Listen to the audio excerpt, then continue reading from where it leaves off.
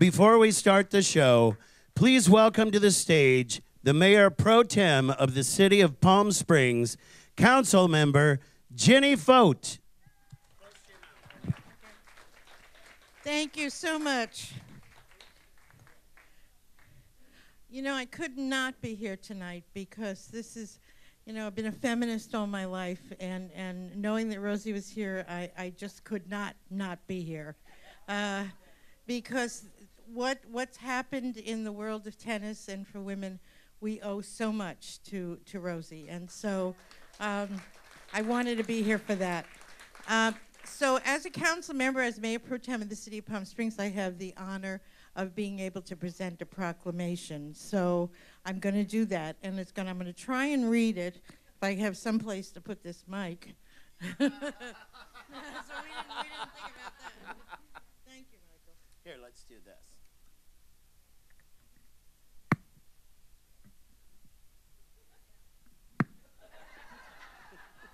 Now. I haven't shrunk that much. No, you're perfect. There you go, dear. Thank you. So, Rosie, could you come up? Can you read it? Mhm, yeah, I can.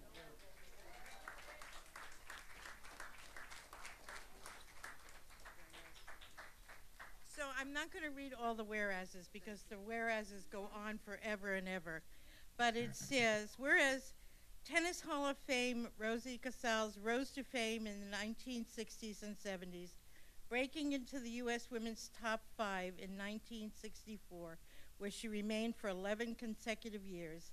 And whereas Rosie was a member of the original nine group, a group of professional women tennis players led by Billie Jean King, who rebelled against the United States Lawn Tennis Association in 1970 due to the wide inequality between the amount of prize money paid to male and female players, and uh, which is the same in every industry, but there's the pioneer who made a change there. And whereas Rosie and the pioneering women who signed a token $1 contract with Gladys Heldman, founder of the World Tennis Magazine, to set up their own tour of eight tournaments sponsored by Virginia Slims and were instrumental in the formation of the Women's Tennis Association, WTA, in 1973.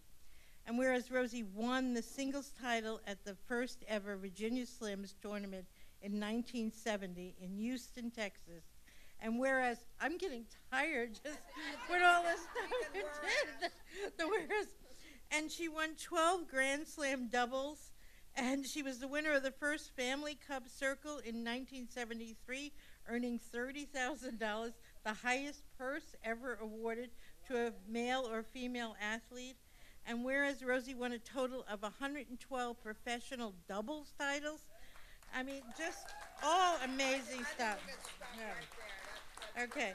So now, therefore, be it resolved that I, Ginny Foat, Mayor Pro Tem of the City of Palm Springs, on this 28th day of October in the year 2017, on behalf of the City of Palm Springs, proudly commend Rosie Casals for exemplary career that brought women's professional tennis to prominence, for creating a foundation to support the youth tennis players of the Coachella Valley, and for playing a leading role in the development of junior tennis in the desert. So.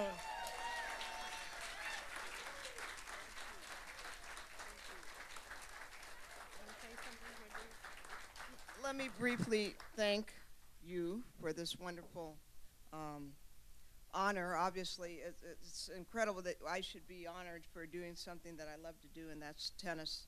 And to um, for our Love and Love Tennis Foundation to be able to share with the youth what what my uh, career and my experiences were traveling all over the world, meeting great people, and ending up here with you and this lovely thing that I've gotten this proclamation. I thank you. And before the evening is over, let me thank Michael Hobbs for hosting us and Jeremy, um, sorry, Michael, Michael Holland and Jeremy Hobbs for hosting uh, this event for us and Iris Williams. Uh, it's it's going to be a wonderful night, and this is even so much more special for me. Thank you. Thank you. And don't don't leave because I want to tell you that this this woman is so. She's got so many accomplishments, but one of the accomplishments that she talked to me about one of the things that she really credits, and that's her association uh, with Tory. And so, Tory, could you come up, please?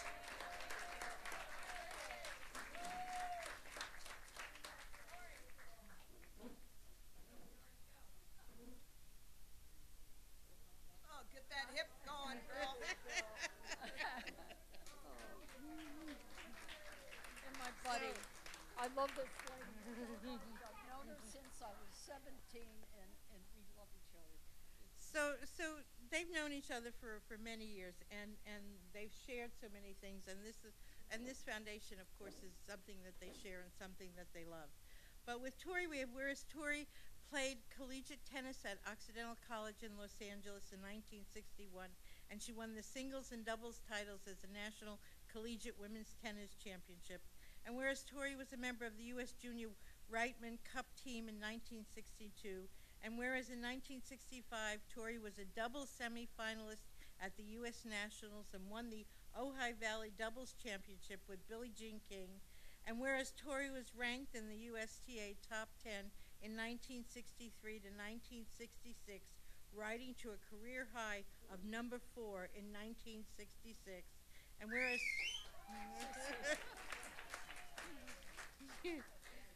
was that the number five or was that? and whereas Tory played professional tennis in the Virginia Slim Circuit from 1971 to 1975.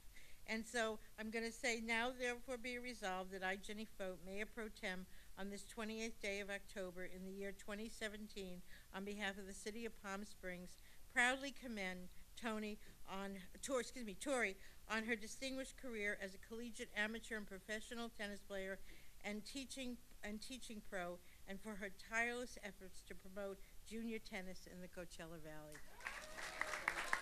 Oh, thank you.